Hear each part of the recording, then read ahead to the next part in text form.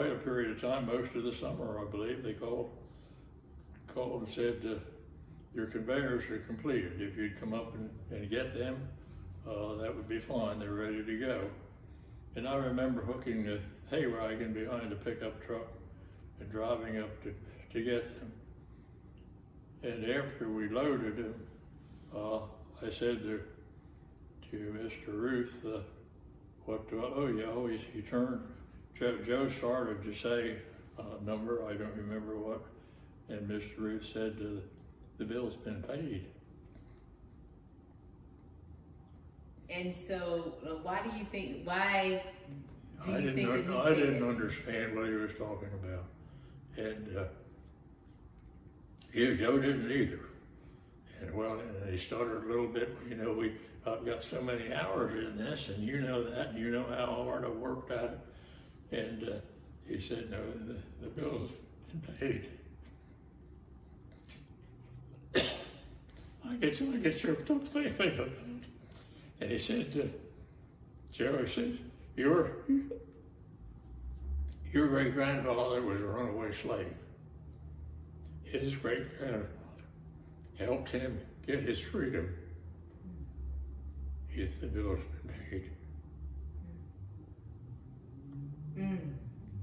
Okay. Well, now when you're here, yes. That grabs you.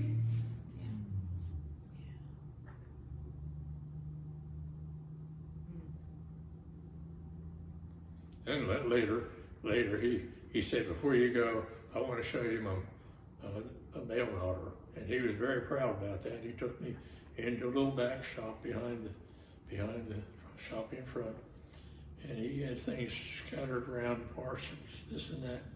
And he said, I've applied for a patent for it, and I'm afraid the New Holland Machine Company is going to steal it from me. Uh, I, they had an engineer that came in here the other day, or a couple of weeks ago, and he said, I'm afraid they're, they're making an order, and they'll have it made before I get it patented. And I think they probably did, but I'm not sure. But there was no question that he had invented that daughter. Wow. I mean, you telling the story, you know, here again takes me back and it makes me, you know, um, it took me back to that moment when you first heard it and like you, um, it resonated. I mean, it, you know, I had this experience with it as well. Like, wow, um, this connection between two families and you and Joe didn't know the connection, but Mr. Billy did. And so when you um, um, heard those words, and then you you knew the story of your family that was uh, who was involved in the Underground Railroad. Um, now, tell me, how did you come to learn that your family was associated with the Underground Well, Railroad? that, that, that's, that's, that's another story. Uh, we, we, we had, we were, Dad had a pretty good operation, but we always had black families working for us. Mm.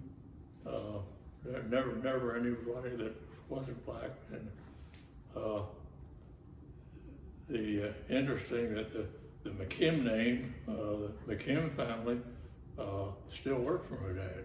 Mm. Had worked for his grandfather, uh, and the family was still around. And it was a large family. Earl McKim uh, was the father, he had, had a son, Buddy, who was my age, and uh, and I think there were three girls.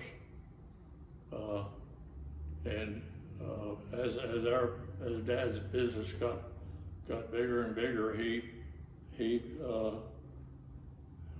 had some kind of agreement. I don't know what it was, but Earl was a partner, Mm.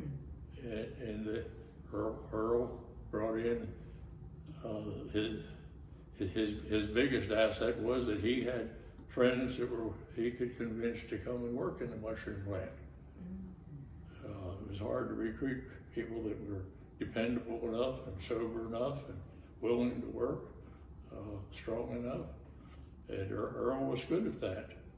And so for, I don't know how many years, but at least 10 years, maybe more, I grew up with the McKim family uh, lived just across the other side of the meadow, a hundred yards away.